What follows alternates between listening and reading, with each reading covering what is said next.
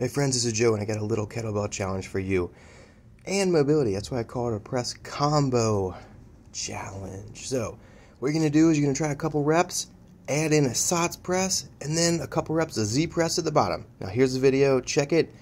It's easy to progress on this and I want to see what you can get. Leave me comments on what weights you use and how many reps you got at the bottom and let's progress from here. Hope you enjoy it. See you later. So I've got a press combo challenge for you. I absolutely love this. You're going to start off with doing a few reps of strict press. Now you're not going to do as many as you possibly can, but you're going to test this out and then work progressively upward. Then you're going to go down into a SOTS press. Notice I did three overhead presses, then one SOTS press, then you're going to go down into a Z press.